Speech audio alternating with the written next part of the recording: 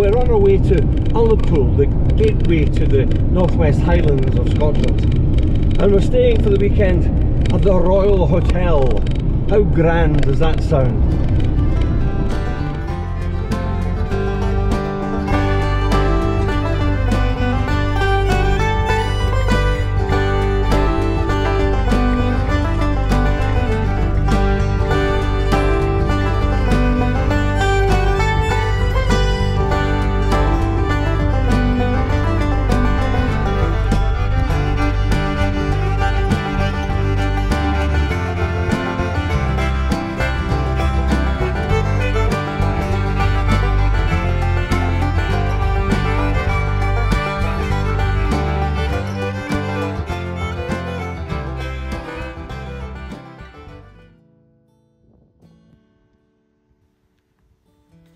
When I said we're staying at the Royal Hotel in Ullapool, I actually meant we were staying in the rear car park of the Royal Hotel, a car park with 10 bays for camper vans and motorhomes. Now, this isn't like your run of the mill average hotel car park. This one has well manicured gardens, six of the camper van bays have electric hookup, there's a water tap, and wonderful views up the length of Loch Broom to uh, the, the Beinn Dearg Hills and the price 15 quid a night with EHU and 10 quid without, with no obligation to eat or drink in the hotel. However, I would recommend it.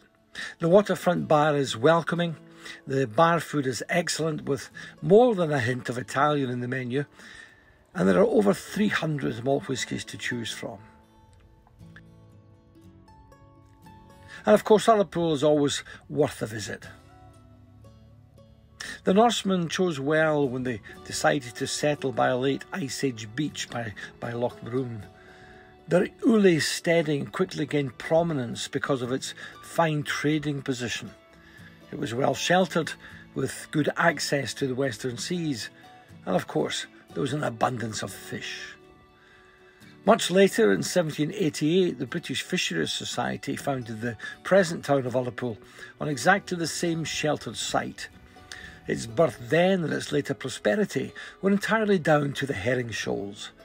But the fishing didn't last long, and today Ullapool is a bustling ferry port relying heavily on tourism, with its own campsite on the shores of Loch Broom, probably fairly close to where those Vikings first settled.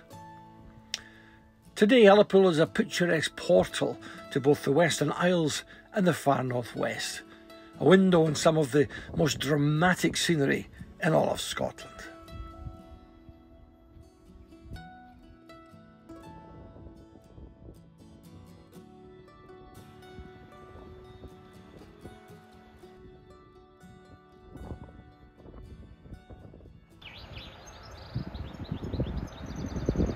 Now, you don't have to climb one of the big mountains that lie close to the village to get a, a feel for this wonderful landscape.